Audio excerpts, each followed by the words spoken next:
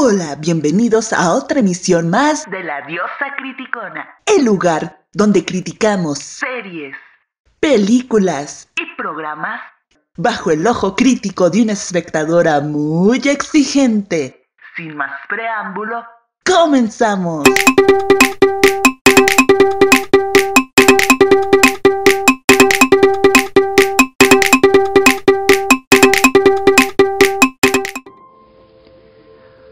Hoy toca hablar de la miniserie escrita y dirigida por Manolo Caro, Alguien tiene que morir, la cual trata sobre una familia española de la alta sociedad justo en la época franquista, donde prácticamente el país adoptaba los ideales y el modus vivendi que dictaba el entonces dictador Francisco Franco, donde se destacaban los valores ultraconservadores, donde no había cabida a una ideología, religión o preferencia sexual distinta a la impuesta por el gobierno. Ante este panorama, la familia Falcón se regía por la doctrina franquista y por obvias razones inculcaban estos valores a todos los miembros de su familia. Pero el molde se rompe con la descendencia, el fruto de la unión entre Mina y Gregorio, encarnada por Gabino, el cual vivió durante 10 años lejos de su familia al encontrarse en México. Hoy regresa sin imaginar que su padre y su abuela Amparo prácticamente le tienen la vida resuelta, al imponerle un puesto gerencial en la fábrica de zapatos de sus futuros suegros, ya que hasta el matrimonio le tienen pactado con la joven Cayetana Aldama, mientras que el joven únicamente iba de paso a España, ya que su pretensión era acompañar a su amigo Lázaro a París por una oferta de trabajo como bailarín de ballet. En fin, la llegada de ambos desencadena una serie de sucesos que marcan el entorno familiar y social de los Falcón, al ser totalmente transgresores ante los ojos de la sociedad española. ¿Cuál es mi opinión respecto a la miniserie? Bueno, este producto televisivo consta de tres capítulos, de los cuales tienen como duración distintas entre 49, 48, 52, dando como un equivalente, en, si los juntamos, entre 149 minutos, que equivalen a 2 horas 22 minutos.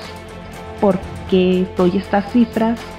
Pues básicamente para sustentar mi hipótesis de que la historia pretendía ser una película, al notar la rapidez con la que se desarrolló la trama, dejando sin profundidad ciertos, ciertas situaciones o incluso personajes y me extraña, ya que la idea de hacer una miniserie es precisamente desarrollar de manera más explícita los personajes y los eventos que se van desencadenando eh, a raíz de sus decisiones. También, ¿qué onda con la edición? Este, dan cortes muy abruptos, tanto que hasta una escena duró, sin mucho, cinco segundos de, de, lo mal que está la edición. Este, la fotografía en su momento este, se veía sobreexpuesta y en, y, en otro, y en otras escenas el filtro daba la impresión como que tenía la piel naranja, entonces yo no entendía eso. Y en cuanto a las actuaciones, me encantó el acento de Cecilia Suárez, en un híbrido entre mexicano y, español. En lo personal, siento que su actuación le faltó más intensidad. En el caso de, de Carmen Maura, magnífica. Es un personaje amable y, e inspirador socialmente, pero un monstruo en privado, definitivamente. Este Ernesto Alterio, un villanazo con todas sus letras. Hasta su rostro se presta para mostrar un personaje temible, pero sí me hubiera gustado ver más su origen en la maldad. En el caso de Alejandro Speitzer, este lo hizo bien, se nota que está bien dirigido. Este Isaac Hernández, eh, regular, le faltó como actor, este, pero puede evolucionar, la verdad. No, no es que esté tan mal, pero tampoco es impresionante. Este, Esther Espósito, muy bien, este, se dio a odiar perfectamente. y por último, Carlos Cuevas, que a mi parecer es uno de los personajes más complejos al vivir dos realidades, lo cual lo lleva a mostrar una rabia que no puede calmar. A Conclusión. La historia me entretuvo y me conmovió en ciertos momentos, pero siento que algo le faltó que todavía no detecto.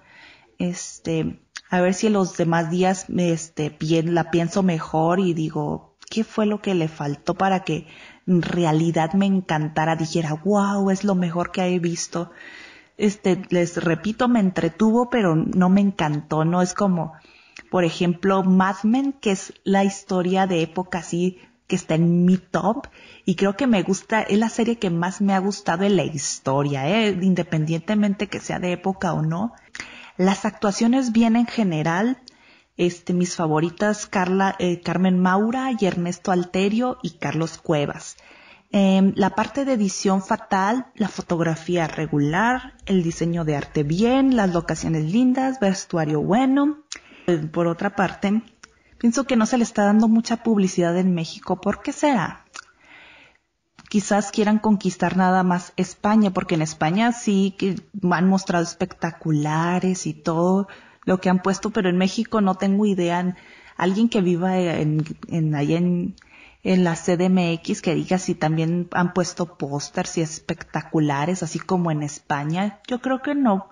Yo creo que esta serie sí va más inclinada al mercado español, porque de aquí en México he visto muy poca promoción. Eh, en comerciales uno que otro, pero no mucho, eh, la verdad. Ni tampoco han ido así a, los programas a anunciar, porque ya ves cómo, cómo barbean a Manolo Caro, ya ves que lo ven como un dios y todo. Pero no, tampoco, no, no he visto, no sé si en los demás días promocionan la, la serie o qué, pero en fin. Em, de mi parte ha sido todo. Expresen su punto de vista en la caja de comentarios y a ver si coincidimos o, o diferimos. ¿Ok? Bye.